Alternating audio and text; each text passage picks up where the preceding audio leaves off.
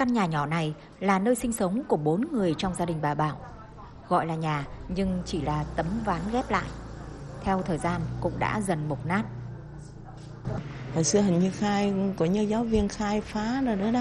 Rồi, rồi, rồi, rồi xong rồi ừ, khai phá xong rồi ừ, kiểu như là phòng giáo dục họ vô á họ, họ họ cho kiểu như mình bắp thăm á bắp thăm miếng đất nào là mình có ở đó đó theo tìm hiểu, năm 1989, một số giáo viên theo sự phân công của tổ chức về công tác tại trường phổ thông cơ sở Nam Dòng, nay là trường tiểu học Lê Hồng Phong thuộc xã Nam Dòng, huyện Cư Rút, tỉnh Đắk Nông. Năm 1992, nhà trường và chính quyền địa phương đã phân cho mỗi hộ giáo viên một lô đất để làm nhà.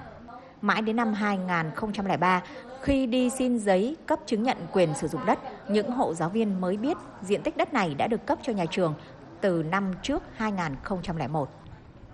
Từ đó đến nay, những căn nhà đều không được phép sửa chữa. Xin xã họ không cho, à, họ không cho là, là xây dựng lại. Ừ, họ cứ biểu là cứ ở như vậy thôi thì coi như là nhà cửa là coi như cũng hư nát.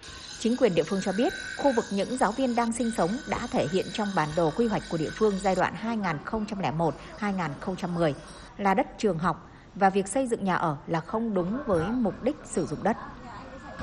Họ là những người khai hoang từ 1989 90 còn đến lúc mà nhà trường được cấp cái giấy chứng nhận quyền sử dụng đất là vào thời điểm là 2001 đó, tức là 11 năm sau thì lẽ ra phải có cái thủ tục thu hồi đất của bà con nhưng mà vẫn không có cái thủ tục thu hồi đất cho bà con và bây giờ bà con vẫn đang sử dụng sau hơn 31 năm cống hiến cho ngành giáo dục địa phương, có được chỗ ở ổn định là niềm mong ước của các hộ giáo viên.